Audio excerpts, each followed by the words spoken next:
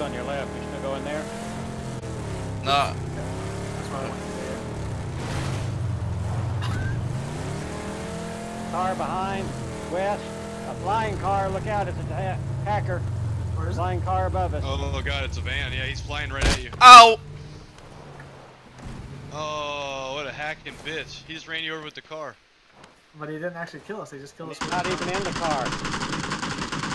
He's not in that thing. It's empty. Oh, man. That is just so lame. Yeah, I'm gonna go ahead.